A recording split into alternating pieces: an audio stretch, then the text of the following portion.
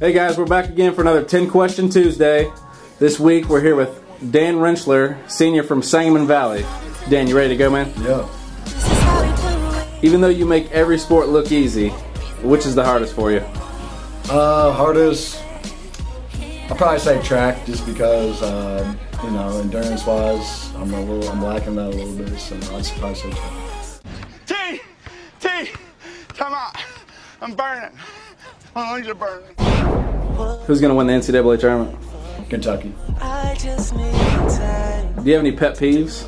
Yeah, I do actually. Uh, I hate it when people uh, look at my food and say it's nasty. That's nasty.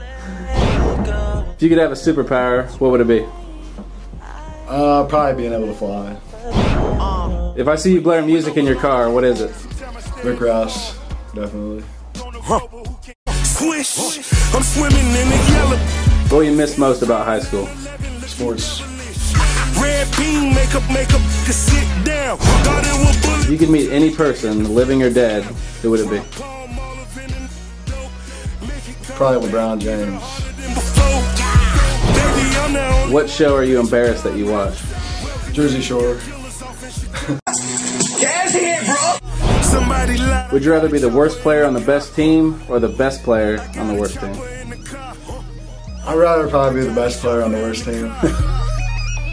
Yes! All right, for the 10th question, it's the 10 question Tuesday challenge. And since you're known as a speedster, I'm going to have you challenge somebody in the 200 meter. Can you handle that? Yeah. Who you got? Jordan McCall. I got this. All right, you got this? Yeah. Ready, set, go!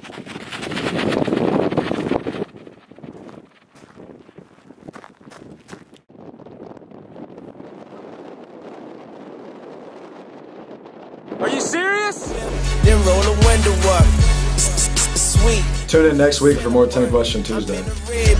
She say she finna 200 thou on the chain. I don't need a piece. That banana clip. Let your key to speak.